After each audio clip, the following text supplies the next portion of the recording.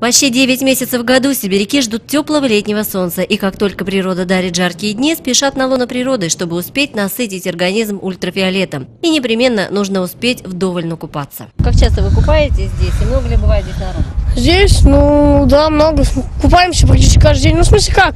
Мы раньше в другом месте купались, вчера тут стали купаться. В смысле, ну, тут много вчера было народу, сегодня нету. Вот только лозунг «Солнце, воздух и вода» наши лучшие друзья давно уже утратил свою актуальность. Солнце, как уверяют ученые, стало исключительно агрессивным и опасным, а воздух и вода не отличаются чистотой. Так, почти все анализы проб качества воды, которые проводит специализированная лаборатория Центра гигиены и эпидемиологии, в водоемах Ленинско-Кузнецкого не соответствуют нормам Санпинов. Особенно это касается реки Иня. Купаться в реке Иня запрещено, потому что по итогам э, исследования санитарно-эпидемиологической службы, нашей службы города, вода не соответствует Санпину, поэтому купаться запрещено.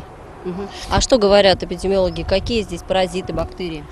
В общем, не, вода не соответствует Санпину по микробиологическому анализу и по бактериологическому анализу. И превышение составляет в 24 раза. Специалисты управления ГУЧС администрации города вместе с коммунальными предприятиями устанавливают запрещающие таблички в местах купания горожан. Кроме того, распоряжением администрации города организовано патрулирование излюбленных мест отдыха горожан мобильными группами, в составе которых полицейские, специалисты администрации муниципалитета и управления ГУЧС. Как всегда, под особым вниманием будут дети, отдыхающие на водоемах без взрослых, и граждане, находящиеся в нетрезвом виде. Гибель на воде уже в Кузбассе началась. Э, вчера еще только говорили о четырех, восьми случаях. Сегодня вы говорите 11. Причины каковы?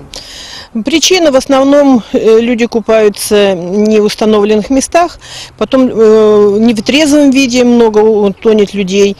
Поэтому вот очень хочу обратиться к жителям нашего города, чтобы берегли свое здоровье, свою жизнь и не купались в неположенных местах. Таким образом, спасатели и администрация города совместными усилиями пытаются обезопасить население от правонарушений и от трагических случаев на воде.